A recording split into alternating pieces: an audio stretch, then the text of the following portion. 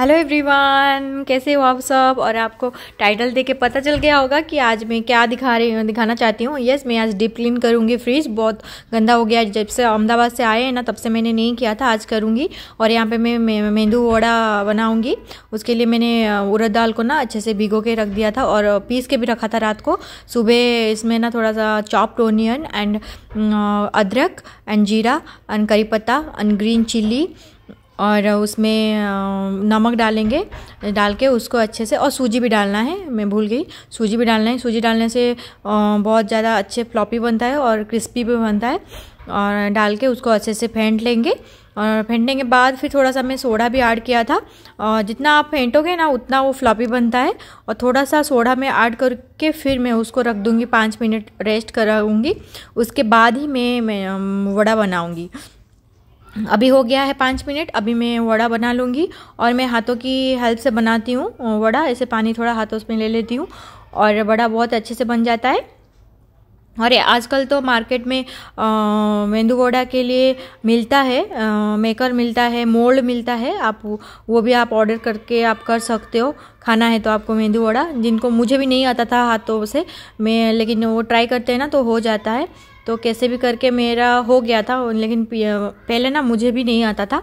अभी मुझे आ रहा है हाथों से बनाना। तो यहाँ पे मैं मेंदू वड़ा सब तल के रख दूँगी और यहाँ पे ना नीचे टिश्यू रखा था तो ऊपर फिर से मेंदू वड़ा रखेंगे ना तो पूरा बड़ा के ऊपर बड़ा रखेंगे तो ऑयल नीचे वाला बड़ा सोख कर लेगा तो इसीलिए मैं थोड़ा टिश्यू रख के फिर उसके ऊपर बड़ा रखा।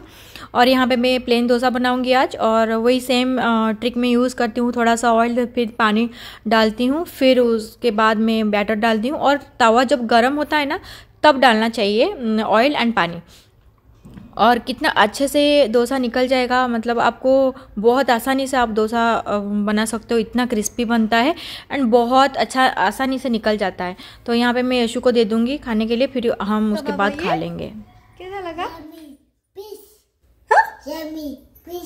Yummy peas curry this is peas curry and this is dosa and this is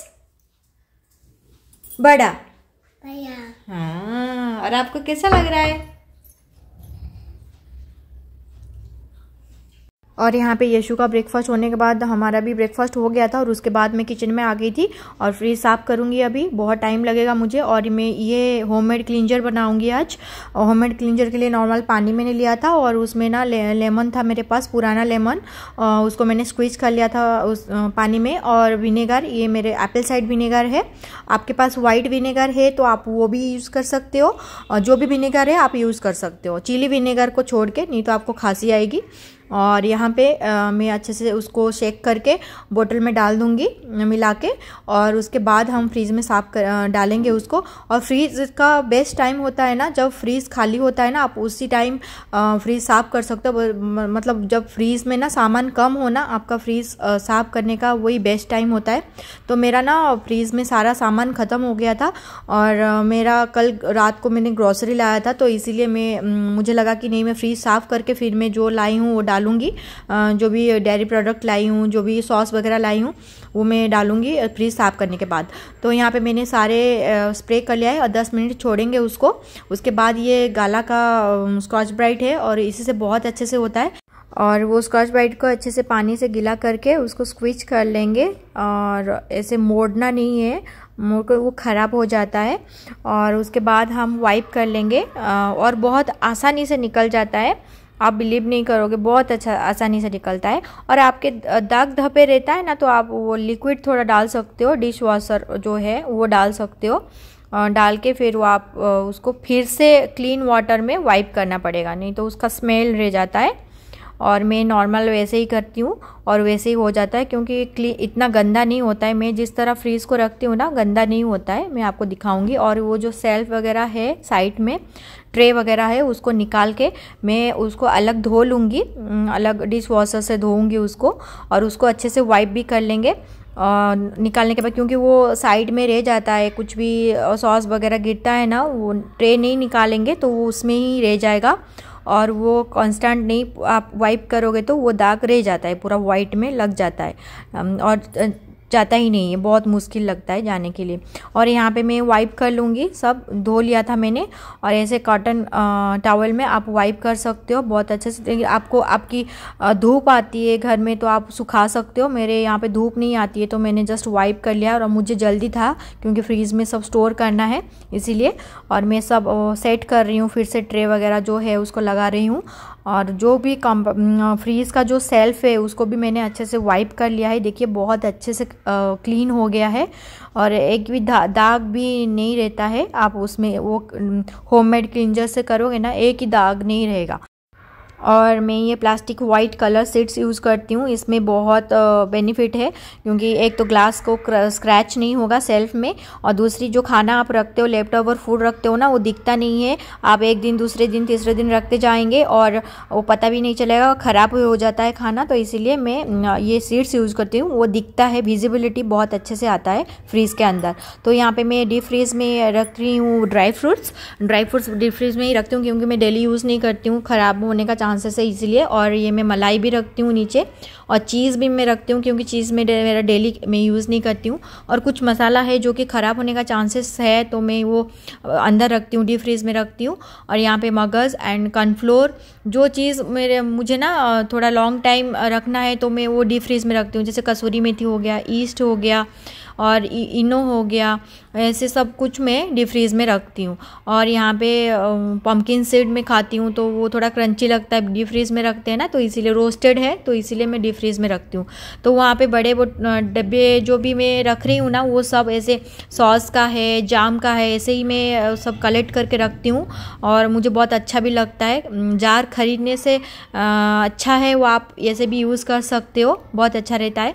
और यहाँ पर मैं ऊपर जो डेयरी प्रोडक्ट है, वो मैं ऊपर रखती हूँ फ्रीज के जो फ़र्स्ट वाला, ऊपर वाला कंपार्टमेंट है, उसी में ही रखती हूँ और ऐसे मैं ट्रे यूज़ करती हूँ। ये ट्रे बहुत अच्छा है, बहुत यूज़फुल है। मस्ट आप लोग यूज़ कीजिए। मैं तो मस्ट बोलूँगी, आप ख़रीदिए, बहुत अच्छा है। स्पेस आपका इतना बच जाएगा और आप फ्रीज़ इतने अच्छे से ऑर्गेनाइज़ कर पाओगे। बहुत ये ट्रे छोटा है, लेकिन बहुत सारा सामान इसमें आप रख सकते हो और ऐसे में ट्रे छोटा छोटा कंपार्टमेंट लिया था, ख़रीद के रखा था मैंने। कब से तो ये ऐसे ही मैं रखती हूँ। ऐसा नहीं है कि मैं अकॉर्डिंग वेजिटेबल्स ही रखती हूँ ऑर्गेनाइज़ करके, जैसे अभी जो वेजिटेबल्स है उसके हिसाब से मैं ऑर्गेनाइज़ करती हूँ। अभी दूसरे जो वेजिटेबल्स आएँगे नेक्स्ट टाइम तो मैं उसके हिसाब से ऑर्गेनाइज़ करूँगी। वेजिटेबल अकॉर्डिंग वेजिटेबल मैं ऑर्गेनाइज़ करती हूँ। और ऐसे आप करते हो ना तो क्लीन भी रहता है और आपको सब चीज़ विजिब विजिबल होता है। और यहाँ पे पालक भी था तो पालक ना आपको लॉन्ग टाइम के लिए ऐसे रखना है तो आप ऐसे टावल में रैप करके रख सकते हो। बहुत लॉन्ग टाइम तक आपका पालक जाएगा। और ऐसे हो गया मेरा वेजिटेबल जो ट्रे था, वो फुल हो गया है। अभी ये वाला जो है छोटा छोटा जो मैंने ट्रे में डाला था ना, वो उसका ये बड़ा वाला था, उसके अंदर ही छोटा छोटा कंपार्टमेंट था। तो ये वाले में मैं बड़े बड़े चीज़ रखती हूँ, जैसे लॉन्ग बीन्स हो गया एंड यहाँ पे मैं डाल रही हूँ पीस क्योंकि पीस में थोड़ा छिल के रखती हूँ और कुछ पीस में ऐसे स्टोर करके रख लेती हूँ हैंडी रखती हूँ। और यहाँ पे मैं कुकुम्बर एंड लेमन ऐसे ट्रे में रखती हूँ। और ऐसे जो, ये जो ट्रे है ना, बहुत आपका, आप बिलीव नहीं कर पाओगे, आप आप खुद लाओगे तो आपको पता चलेगा। और यहाँ पे ये एक मैंने लाया था ऑर्गेनाइज़र फ्रीज़ का, और बहुत अच्छा उसमें ना आप रख सकते हो, धनिया रख सकते हो, क्योंकि नीचे का जो ट्रे है ना, जो पानी वगैरह रहता है वो सोख करके नीचे स्टोर हो जाता है और आपका चीज़ फ्रेश रहता है, पानी नहीं रहता है उसके अंदर। और इसमें आप वेज नॉन वेज भी रख सकते हो डी फ्रीज़ में। फ़िश प्रॉन और जो भी चिकन हो, आप ऐसे रख सकते हो डी फ्रीज़ में। उसको रख सकते हो लॉन्ग टाइम तक और पानी नीचे रह जाएगा। और मैं उसमें अदरक एंड चिल्ली रखती हूँ क्योंकि ज़्यादा नॉनवेज में फ्रीज़ में नहीं रखती हूँ। क्योंकि हमको फ्रेश मिलता है तो हम उस खा लेते हैं। फ्रोज़न जो लोग रखते हैं नॉनवेज वो आप ये, आप यूज़ कर सकते हो। बहुत आपका बहुत लॉन्ग टाइम तक फ्रेश रहेगा। और मेरा ये बहुत लॉन्ग टाइम तक फ्रेश रहता है, धनिया वगैरह मैं ऐसे रखती हूँ। और ऐसे करके मैं नीचे की वेजिटेबल्स जस्ट ऊपर बॉक्स में, ऊपर में रखती हूँ सारे जो वेजिटेबल्स है। और जो एयर जहाँ पे आता है ना, थोड़ा बहुत ज़्यादा, उसी में ही मैं लेफ़्ट ओवर फ़ूड रखती हूँ क्योंकि वो बहुत ख़राब होने का चांसेस है। और मैं एक दो दिन में कंज्यूम कर लेती हूँ और ये करी पत्ता है, करी पत्ता को भी मैं रख लूँगी। और ये डोसा का बैटर है, मैं वो भी रख रही हूँ क्योंकि पूरा एक सेल्फ में रखती हूँ, पूरा खाने के लिए, जो लेफ़्ट ओवर फ़ूड रहता है उसके लिए, क्योंकि इंडियन कुकिंग में तो बहुत सारा खाना खाना बनता है और बहुत सारा खाना बच भी जाता है लेफ़्ट ओवर और यहाँ पे ट्रे साइड डोर में ना तो लास्ट ट्रे जो है उसमें मैं सारे सॉस रखती हूँ, क्योंकि जो ज़्यादा मैं यूज़ नहीं करती हूँ, वो मैं नीचे रखती हूँ, जो ज़्यादा यूज़ करती हूँ, वो मैं थोड़ा ऊपर रखती हूँ। ऐसे ये न्यूट्रेला चॉकलेट सॉस है, मैं यशु को देती हूँ और पीनट बटर एंड सॉस वगैरह जो भी है पाउच वाला मैं वो बीच में रखती हूँ क्योंकि डेली बेसिस में मेरा यूज़ होता है और एग में एक ट्रे में मैं एग रख लेती हूँ, हैंडी रखती हूँ, लेकिन मेरे पास ट्रे अलग है, मैं वो भी रखती हूँ और थोड़ा सा एसेंस वगैरह वो साइड में रख लिया और बहुत सारे मसाला मेरे पास है जो कि आपको लॉन्ग टाइम तक रखना है, मैं रखती हूँ तो मैं ऐसे डीप फ्रीज़ में रखती हूँ ऐसे ट्रे में डाल के बहुत फ्रेश रहता है। और आपको मसाला रखना है तो ऐसे रख सकते हो आप। और एक ट्रे में जो कि कटा हुआ वेजिटेबल्स मेरा रह जाता है तो मैं ऐसे ही ट्रे में उसको रखती हूँ क्योंकि वो पानी थोड़ा रहता है उसमें तो पानी नीचे आ जाएगा और ऊपर वेजिटेबल फ्रेश रहेगा और मैं जल्दी उसको यूज़ कर लूँगी। तो ऐसे करके मेरा फ्रीज़ हो गया है ऑर्गेनाइज और मेरे फ्रीज़ में क्या क्या है आपको दिख आ, मैंने दिखा दिया है। कितना भी छोटा फ्रीज़ हो, आप अच्छे से ऑर्गेनाइज़ करोगे, बहुत ये सब जो मैं यूज़ की हूँ, इसमें ना आपका स्पेस बच जाएगा और बहुत अच्छे से ऑर्गेनाइज़ आप कर पाओगे। कम स्पेस में आप अच्छे से ऑर्गेनाइज़ कर पाओगे। तो फिर ठीक है तो आपको ये वीडियो कैसा लगा please like share and comment कीजिएगा। और न्यू हो तो सब्सक्राइब कीजिएगा। And don't forget to click on bell icon to get notification और फिर मिलेंगे और एक वीडियो में, तब तक बाय बाय